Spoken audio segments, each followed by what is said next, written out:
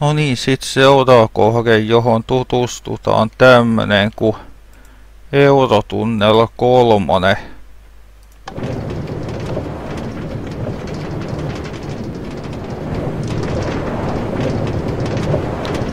Tähänkin olisi tarkoitus laittaa näitä komentoblokkeja tiettyjä kohtien alle ja parantaa noita asemia sillä, että niissä näkyisi, että mikä asema on kyseessä. Mutta en ole ehtinyt vielä siihen vaiheeseen edetä tässä vielä valitettavasti.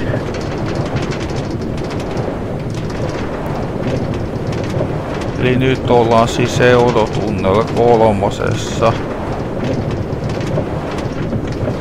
Tää on tosiaan tämmönen, että tää on täysin itä-länsisuuntainen.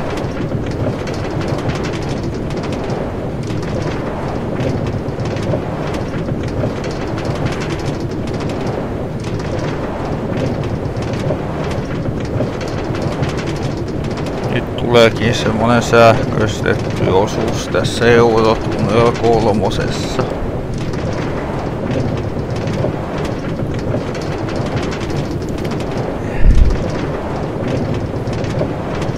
Ei oo oikeeta tammipuulaattaa, vaan se on sitä niin sanottua feikkipuulaattaa.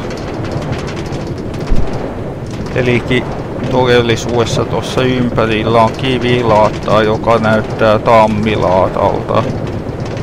Sitä voi käyttää siinä määrin tosin kyllä hyväksi, että voi rakentaa vaikka taakkoja tai tulisioja ja tota sitten tota feikkipuulaattaa tuota noin tuohon ympärille, jos ei halua, että tuli karkaa.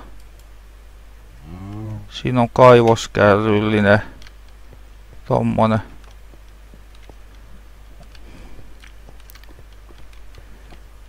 Ja nyt vielä tässä niin täällä on sitten tämmönen julkinen paikka eli tässä on sitten tämmönen noitumispaikka. Tässä voi siis vapaasti noitua. Se oli siinä. Siinä on jälleen lammas. Ja tossa on sitten sitten niin kauhutalo tuolla noin.